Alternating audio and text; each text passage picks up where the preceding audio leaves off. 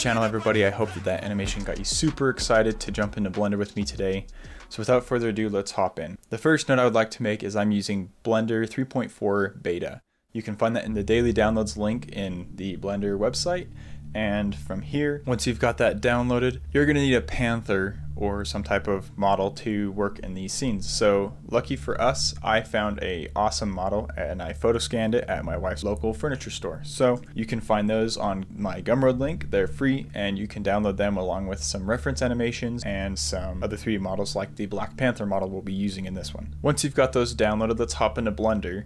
Let's go into the preferences and from here, let's go into the viewport and enable GPU subdivision. And then the add-ons, search extra, make sure add mesh extras is there and node wrangler. Then go into the interface, developer extras, into the experiments and real-time compositor. We'll use this later. I won't get into it right now. From there, we're just going to delete everything in our scene and import those two 3D models we downloaded. So once we've got them in there, I'm just going to zoom in and center, I'm going to center the Black Panther model over the cursor I'm going to enter top view and then I'm just going to add a mirror modifier to the Black Panther here. I'm going to pull it out about two and a half squares away from him and then I'm going to leave edit mode and bring the Panther back on the y-axis and move the Panther models about 15 blocks backwards. This is a good setup and will allow us a lot of room to move. I'm going to go extras, step pyramid, and we're going to start building the platforms. So I'm just going to bring down the steps to 5, increase the initial width, reduce the steps, and then rotate it on 45 degrees and make sure there's some space in between his limbs and the edge. Then I'm just going to increase the height and then just bring it down on the z-axis until it lines up with his feet. From there, I'm going to zoom out a little bit and edit mode, and then bring the bottom down a little bit so that we never see the bottom of the model. From there I'm going to duplicate it and bring it back and then use a mirror modifier in edit mode to I'm going to use a mirror modifier. Make sure you apply the scale and the rotation first though, then bring it under the bring it under the Black Panther, select the sides and bring them in. And then same with the length, just bring it to the the right length. Then now that we've got those, I'm just going to center the Panther a little bit better. And from there, we need to add a bevel modifier to these platforms. Should have done that first, but I think I set the value to 0.015. Yeah, that's looking about right. And then three segments. Shade it smooth, and then we're ready to move forward. Do this with the back models as well. 0.015, three segments, shade smooth. So shade everything else smooth and let's now let's add some materials to our Black Panther model. I'm going to make two, one called Black Panther Sand and then the other one Metal. I'm going to enter in and just select the claws on his chest and click Control L and then assign them so that the metal is assigned only to those. Then we can see that they're working, select everything, Control L and link the materials. Then I'm just going to delete the metal under all of the platforms and whatnot.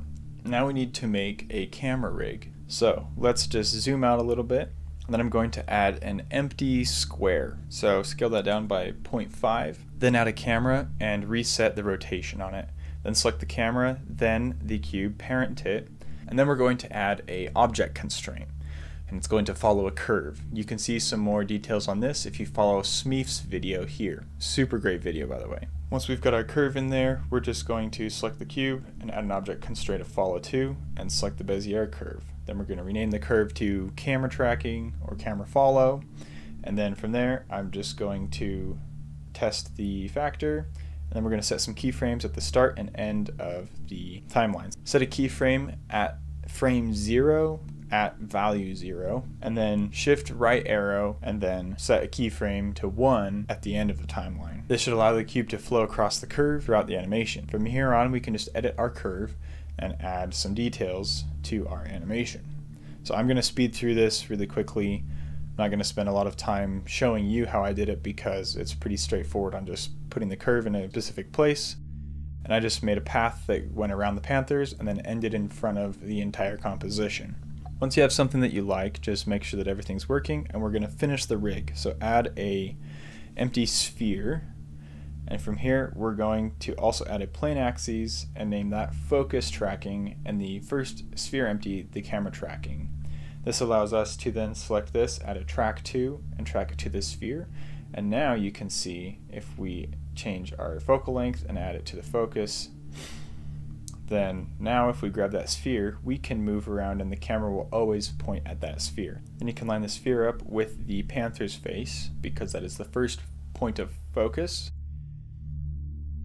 And here we're just going to select the camera as well and make sure that our settings are dialed in. I'm just going to adjust the focal length to 100 millimeters. And then, I, yes, I like this motion. liking the way it's moving. Sweet. Now you can see it's still pointing at the panther once we get near the end. So near the end we need to move the sphere and bring it up forward first. So I'm going to activate depth of field in the solid view mode and oh, I forgot to move the tracking. So if you forgot to do this as well, just select your sphere, click Shift S, and then cursor to selected. Then select the focus tracking object, Shift S, selected to cursor. And then we can parent those so that it I don't forget to move it in the end. Then you can still grab the focus object and change the focus after.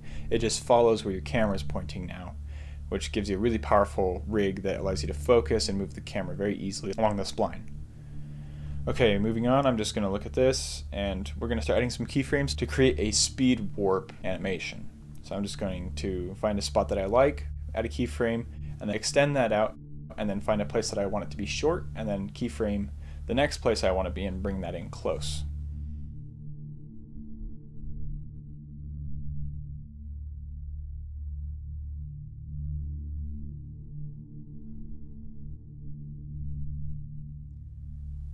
Sweet. Okay. Moving on from there, now we want to align the camera with the Black Panther model once it's near the end. So I'm going to find a place where it's already almost straight and I'm going to set a keyframe by activating the auto keyframer button here next to the play and stop button and then hit G0 and then move forward in the timeline until a place that I'd like it to be and set that keyframe near the panther. Then we're just going to line it up make sure that it's got the correct focus and pointing the right direction. And then from there in the camera view, you should be able to see our final composition. I'm going to bring this curve down just a bit so that we can have kind of a looking up point of view because that gives the Black Panther a little bit more of a powerful stance visually. I think I'm liking this, yes. I just want that front platform to be a bit higher. Do a couple more adjustments, make sure the animation looks right.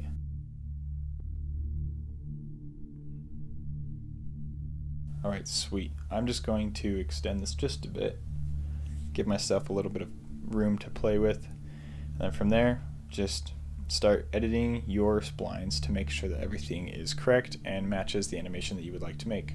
You can do anything with this, get really creative, use your own imagination. Okay,